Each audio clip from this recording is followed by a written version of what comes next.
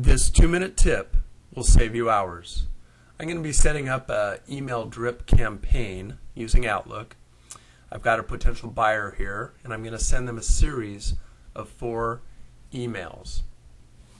First thing I'm going to do is open up the contact.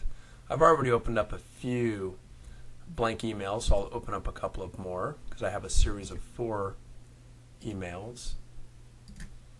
Close the contact.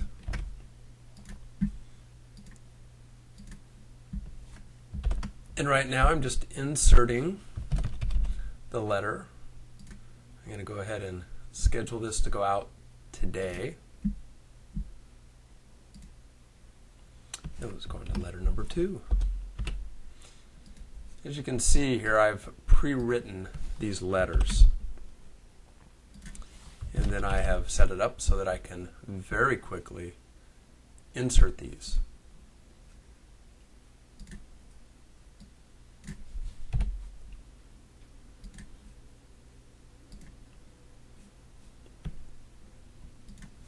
And let's do letter number three. All I'm having to do is obviously type in the first name, schedule it real quick, and then hit send and go on to the next.